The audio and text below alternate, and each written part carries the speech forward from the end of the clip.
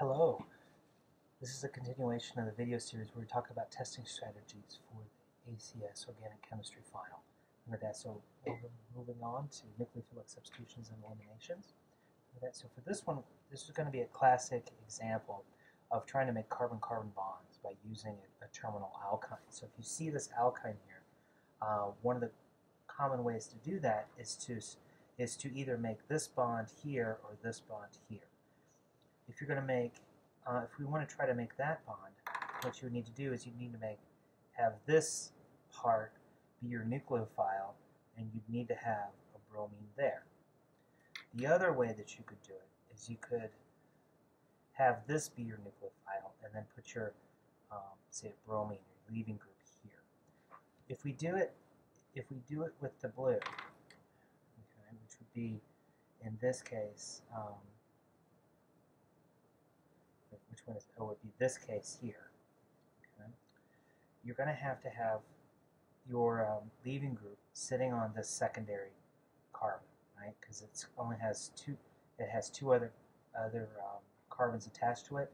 This really just works on um, primary, so that that, so we're not going to do that. Uh, so that the other idea would be to somehow um, would be to, to have this be your nucleophile, obviously without and then have methylbromide here. So that's so that's good. So these are uh, probably how they're going to snatch together. Now here, um, if you had excess base, you could actually make a double bond here. You'd need a second bromine, you know, say here, uh, in order to make that. So it's definitely so it's not going to be this. So the question becomes, you know, which way you do. Normally, you you'd say when you're designing the synthesis, you, these are the two components you need to do mix those two together, um, nothing's going to happen. They're just going to kind of wave at each other. What you need to do is you actually need to get it into in the alkyne into this form right here. Um, so, because the question is, in order to make this, you have to generate this. So this is going to be the answer. So be careful.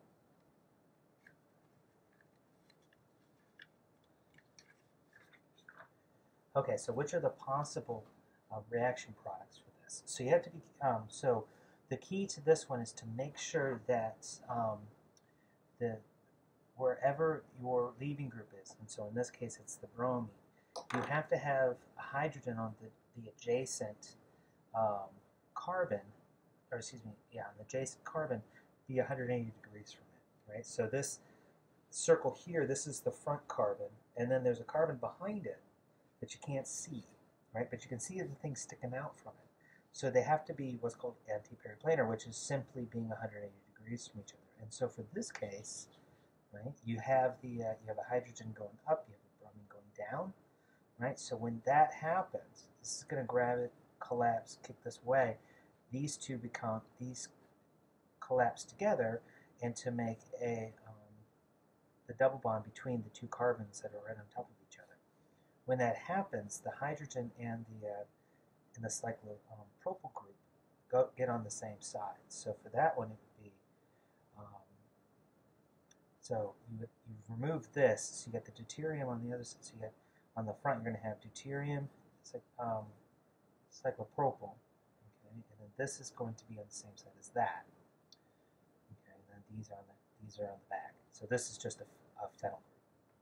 So that's just you're going to make this but what you could also do is hold the back carbon fixed and slide this around until it's in. So I'm going to hold that, the back one fixed. C6H5. But remember, this is this is just heavy hydrogen. It, it reacts similarly to another type of, you know, any other type of hydrogen. So if we slide this like that, that's going to slide here, that's going to slide here, that's going to slide here. So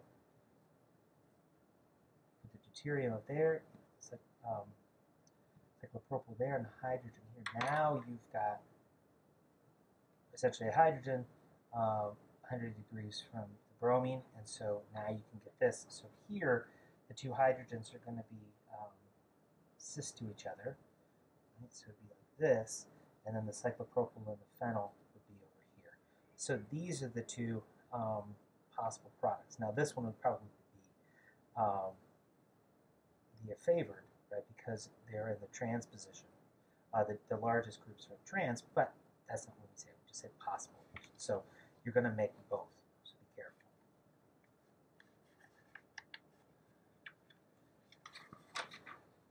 Okay, so this is another one where you have possible products for the dehalohydrogenation, which is just what we did before.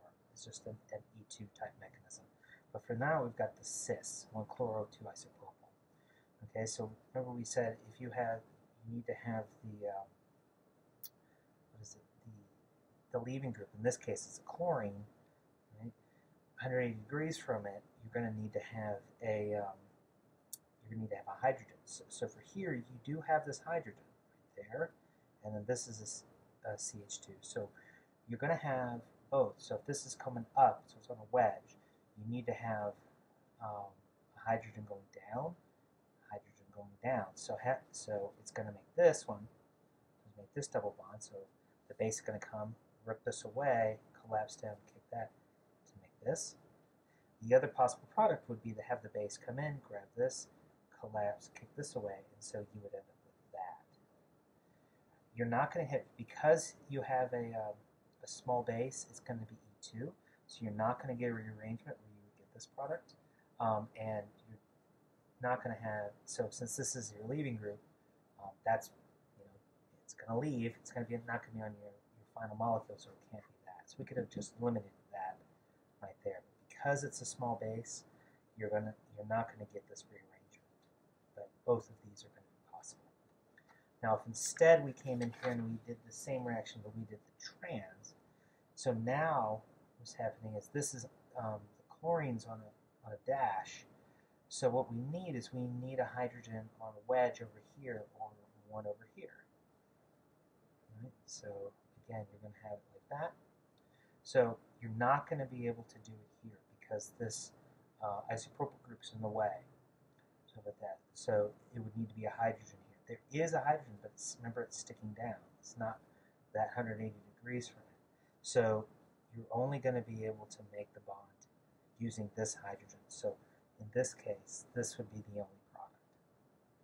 Okay, again, leaving group not there. It's an E2 reaction, um, so it's going to be that. But there's no hydrogen to be able to make the double bond here, so it can't be that. So be careful. So for this one, which carbocation is unlikely to undergo rearrangement? So the reason you have to remember why they go to, um, to rearrangements. It's to get to a higher order. So with that, so if it's you have a primary carbocation, it's going to want to go to secondary, tertiary. Secondary is going to want to go up to tertiary. So um, everybody wants to get um, to, to that higher order. So you just need to really what you need to do is look to see if any of these are um, either secondary or tertiary, if they're tertiary. So this one here, right, it's got one carbon attached to it, so it's primary. This carbon has two carbons attached, so it's secondary. This one, ah, this carbon here has one, two, three carbons attached to it, so it's tertiary. And this one, that carbon has two other uh, carbons attached, so it's secondary. So it needs to be this one. There's no incentive for this one to, to undergo rearrangement uh, because it's already in the tertiary. Um, it's already in a tertiary carbocation. So that's less likely to, to undergo it. Okay, so here's one of those crazy uh, word problems. So you misread the literature, perform this reaction uh, with only half the recommended volume okay, of solvent. So for this, uh, how should how the total uh, should how should the total reaction time change compared to the original literature? So all they're saying is if you change the concentration how does that, that affect it? So for SN1, right, the reason why it's an SN1 is there's only one subject, substrate in that rate equation. Okay, so the rate is going to be equal to K times whatever has a leaving group, in this case that, so your bromide. Okay, if we're running under SN1, that's what it would be. If you're running under SN2, the reason the 2 is there is you have both the, uh, um, the electrophile and your nucleophile see the rate. K times your bromide plus your, um, in this case, your hydroxide. Okay, so the uh, um, so we know it's an SN2. Right? Why do why do we know it's SN2? Well, this is this bromide is is primary. It's going to be really hard because it has only one other carbon attached to it. This is going to be really hard to do um, the um, have this leave from SN1 because we generate a primary carbocation with no other way to help stabilize it. Because even if we rearranged it, would just go over here, which is also primary. Okay, so if you put in half the amount of solvent, right, that means you've doubled the concentration. So it's so you've doubled this concentration here, so it's 2x, 2x, right? And so that means that the rate, um, so that that would be times 4. So like that, so, so instead of being 4 hours, it would be 1 hour, say. So like that, so if, we, if you dumped in twice as much solvent as you needed, right, these would be half. Okay? And so then the rate would only be at, it would, um, would be a quarter of the speed. So so that's so okay. Wait, hold on. It should only be. I got that backwards, right? It should only be a quarter. It should only take a quarter of time, right? Because the rate is four times faster. So you got to be careful. Even I slipped up on that one, but you got to think it through. What is it saying? It's only going to take a quarter of amount of time because you've doubled. Essentially, you've doubled the, um, the concentration of your substrates, right? Because it's it's now four times the original because it's four times the original, the reaction time should only be a quarter of what it, what it should be. So be careful. Which of these reactions, in terms of, likely reaction speed, will undergo the reaction under SN2? This one is again, it's going to be primary, secondary, tertiary. So for these, we want primary. So for here, right? So this is where your um, that's where your um, halide is. And so for this one, right, this is primary. This is secondary because you're. Right, this one only had one other carbon attached. This had two. This one had three. And uh, now this one is sitting on the double bond. That's never going to go SN, undergo an SN2. So so this would actually not work at all. So it's really this one here that would be the um, that would be the fastest. So, that, so this one is simply not going to go.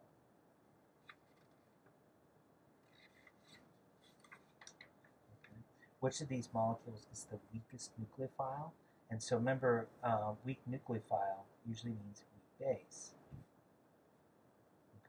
Weak base means right, strong acid. The acidic version is going to be strong, right? stuff like that. And so, really, what we do is if we had the H version of this, this is how I would think about it. If we had the H version, which one of these is the most acidic? So the uh, um, so for here you have OH, OH, NH, OH. Um, so here, that's where the most acidic one would be. Um, OHs are, are closer to iodine on the periodic table than nitrogen, so it's definitely not going to be that. Here, both of these have, are next to a, um, a pi bond. This one is not. It's just a regular CH2, so it's not going to be that. So we're down to the oh, down to these two. One double. But this one has the two fluorines. This one has two atoms that are um, more electronegative, right? Fluorines. So this is going to be the weakest, uh, the weakest nucleophile because the OH version of this, the protonated version, is the strongest acid. So, uh, which reaction would work best for synthesizing it? This ether.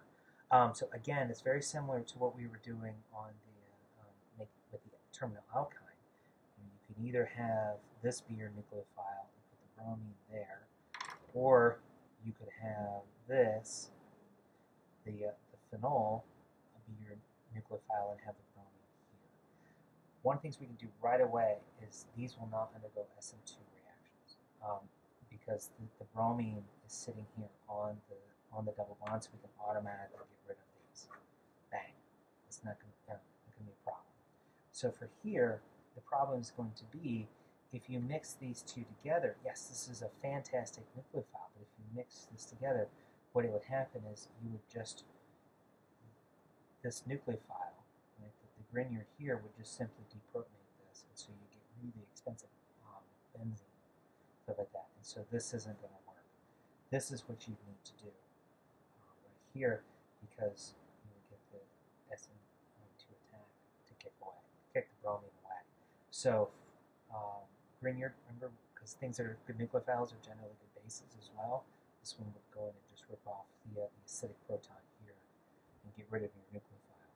So that. So you could get rid of these right away, these two, because of the leaving group is on a double bond. Not gonna, not gonna happen. Here, the uh, you can get rid of this because you've got acidic um, hydrogen, acidic hydrogen here. So it's got to be this one.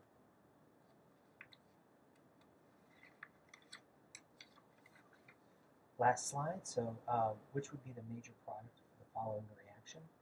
Okay, so here you've got the epoxide. Okay, so, so you have to remember about the um, the differences between under acidic conditions or under basic conditions. Under acidic conditions, what's going to happen is right, this is going to come in and grab. Uh, so I'm sorry, not there, there. Right? Don't forget, whenever you have an acid catalyst, 99 times out of 100, the first step of the reaction is going to be your substrate interacting with. Always seems to be. So under here, you end up getting um, this reaction. Um, so, and then you can get these two resonance forms.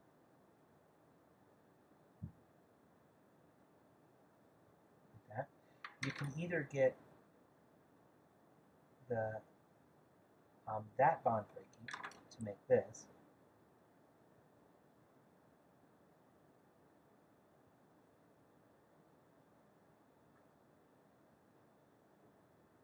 with positive charge there.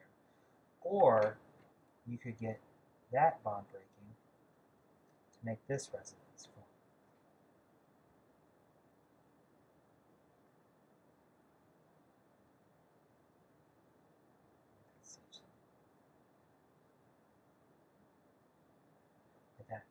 This is going to be a lot more stable, right? Because this is tertiary. So this is if your alcohol is going to come in and attack, water, your alcohol, whatever, it's going to see this a lot more it's going to see this, right? Because that's the secondary. So it's going to see, it's going to attack there. Okay? So for this one, we know we're going to attack on the higher ordered side. So, so of the, um, because it's under acidic conditions, you're going to want to put the alcohol that, that you're adding here. Okay. Well, we could have gotten rid of these two um, right away because you're not going to get a substitution of your alcohol for that for this oxygen here. Okay? So, but for under acidic conditions, you want the you want to add to the um, add to the higher um, higher ordered side, and it all has to do with the fact that this carbocation is going to be a lot more stable. Okay? So what you're doing is so, so this would be the. If you wanted to make this product, what you need to do is do it under basic conditions, because for then it's it's more of an it's an SN2 reaction where that comes in, and with SN2 it's sterics, right? So you're going to have secondary side versus tertiary side. It's going to be a lot easier to go in um, here on that side. So you'd have to run it under basic conditions in order to make this product. So, okay, good luck.